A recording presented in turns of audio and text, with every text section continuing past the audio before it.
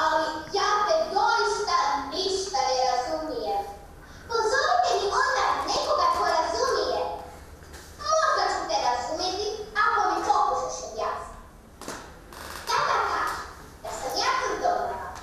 Ovako su ove godine izgledali hrvatski školski susreti Lidrano na gradskoj i međuopćinskoj razini recitatorskog i scenskog stvaralaštva. Učenici su se izravno uključivali putem Zoom aplikacije. S obzirom da su škole išle dijelom online, a, dijelom imamo tako, dakle, bili su onemogućeni one dramske skupine, recitali, lutkari, sve to. Danas je zapravo preko 40 škola su postale scene i u mnogim su se knjižnicama i učionicama prilagodile pozornice za izvedbu. Prijavilo se 199 sudionika, 144 iz 18 osnovnih škola i 55 sudionika iz srednjih.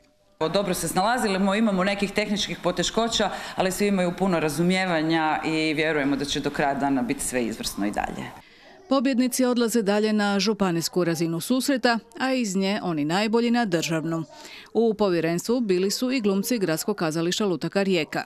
Ima zbilja talentiranih. E, Ove godine gledam čak nekako i ovi prvi razredi osnovnih škola ono djeluju mi, da li to ima neke veze zbog ove tehnikalije, ali mi djeluju kao da su odrasli, kao da su veći, kao da su zreli, tako da su me već ono prvi razredi i odmah danas onako ono ugodno iznenadili.